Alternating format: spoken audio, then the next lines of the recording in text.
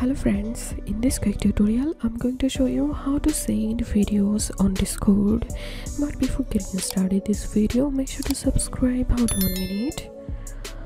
So first of all click on this plus icon and click on upload file.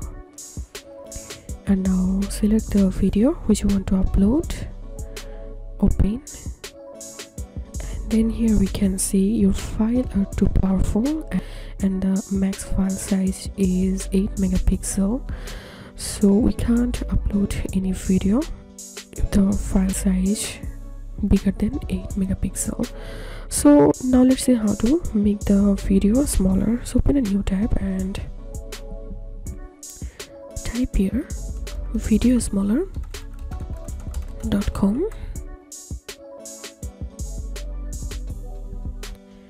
and click on browse. And from here select your video. Check this option and you can scale your video. And you can remove audio from video. You can check this option. I'm going to click on upload video. And now click on download file. And here you can see the file size is now 6.1 megabyte. Now go to your discord again and click on this plus icon upload file. And now select the compressed one and open. And hit enter.